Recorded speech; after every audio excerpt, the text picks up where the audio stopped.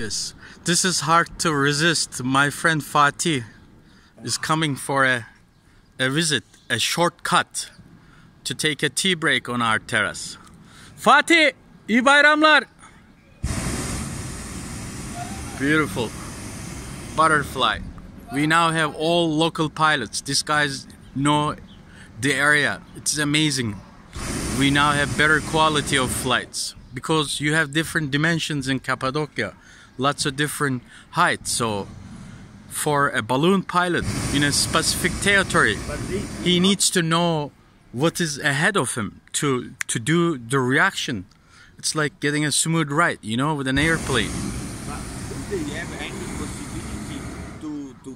Direction? Yes, they do. He has the rope, so he, he kind of rotates it, shaping the balloon itself in certain angles.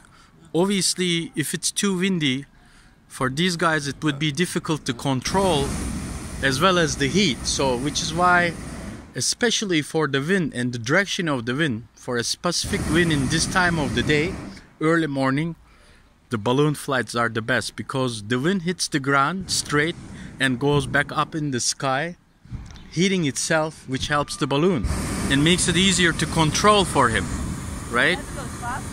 This is another THG Turkish Civil Air Force balloon. I'm gonna run out of juice, my phone.